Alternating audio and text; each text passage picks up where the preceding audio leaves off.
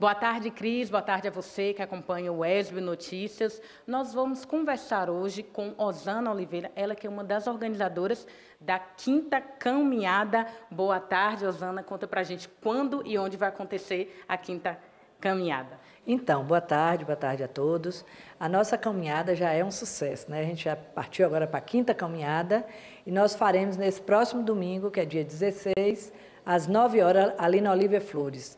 Inicia daquela parte interditada, passa em frente ao Boulevard Shopping, vai até um pouco mais à frente e em seguida retorna e tem ali no estacionamento do Boulevard Shopping a concentração, vamos dizer assim, né, de onde teremos feira de adoção, teremos é, é, pessoas com demonstrações de, de, vários tipos de ração, brindes, teremos várias animações, algodão doce, pipoca. A criançada ama essa coisa dessa festa.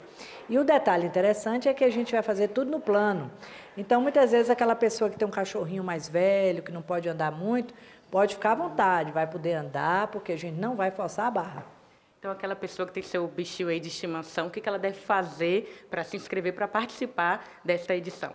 Pois é, está muito fácil. É só você passa na Clive, nós temos a Clive da Avenida Otávio Santos, 16, e também da Frei Benjamin, 1970. Lá a gente faz inscrição, você tem direito a uma camisa e o principal que é um quilo de ração ou mais que você queira doar para a AMA. A AMA é uma instituição sem fins lucrativos que acolhe os animais de rua. Então, todo ano a gente tem esse cunho social de promover essa caminhada, além de ser um, uma, uma coisa muito legal assim para as pessoas, é um, um esquema, uma programação diferente, né, que as pessoas amam.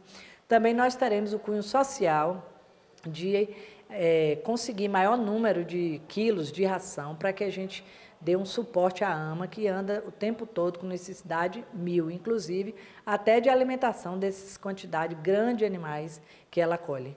Obrigada, Zana, pelas suas informações. Então é isso, gente. Final de semana de diversão garantida e também com ajuda social. A quinta caminhada da Clive acontece neste domingo, dia 16 de dezembro, e você pode ir doando um quilo de ração, ajudar ao AMA. Volta aos estúdios do ESB Notícias. É com você, Cris.